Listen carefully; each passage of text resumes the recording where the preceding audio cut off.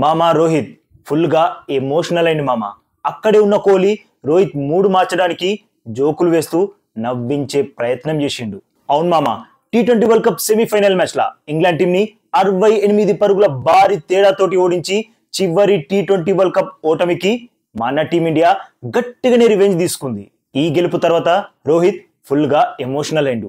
Dressing రూమ్కి వెళ్ళే దారిలా పక్కనే కుర్చీలో కూర్చుండి ఎమోషనల్ అయ్యి కళ్ళ నుండి ఆనంద బాష్పాలు రాల్చిండు. అటు నుంచి వెళ్తున్న కోహ్లీ రోహిత్ భుజం తట్టి తనని నార్మల్కి తెచ్చే ప్రయత్నం చేసిండు.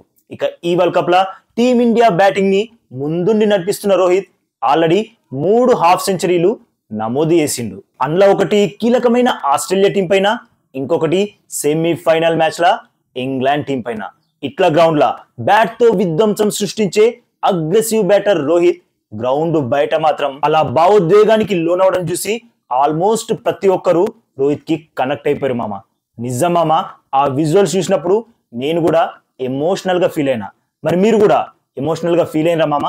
కామెంట్ పెట్టుండ్రి. అట్లనే ఈ లేటెస్ట్ అప్డేట్కి ఒక లైక్ కొట్టి మన ఛానల్ని ప్లీజ్ సబ్స్క్రైబ్ చేసుకోవచ్చు కదా మామ.